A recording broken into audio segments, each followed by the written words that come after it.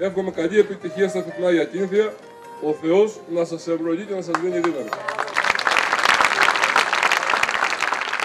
Στο idηλιακό τοπίο πάνω στον ψιλορίτη που χτυπά συνάμα η αγριάδα του τοπίου με τη μυσταγωγία της έκφρασης και του χώρου, ξεκίνησαν χθες για 16η χρονιά τα Ιακίνθια. Αξίζει ένα ακόμα θαύμα γιατί περί θαύματος πρόκειται σε αυτό το μοναδικό χώρο.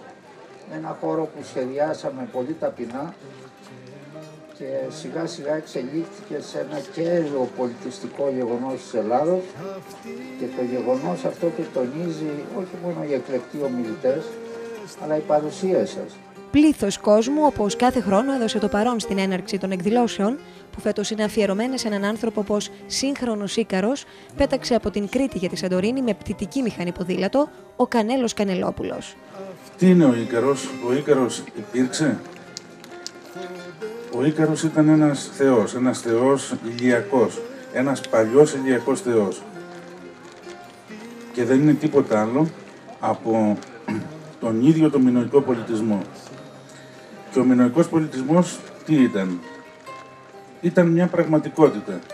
Στο περιθώριο των εκδηλώσεων, οι επισκέπτες έχουν τη δυνατότητα να δουν από κοντά κομμάτια από τη λαϊκή τέχνη της περιοχής, σε συνδυασμό με τη φιλοξενία των ανθρώπων της, φημισμένη από χρόνια πριν.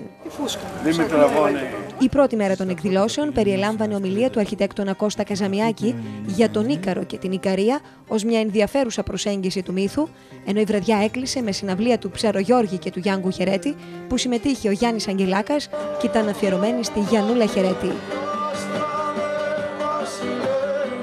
Χορηγός επικοινωνίας των εκδηλώσεων είναι η Κρήτη TV.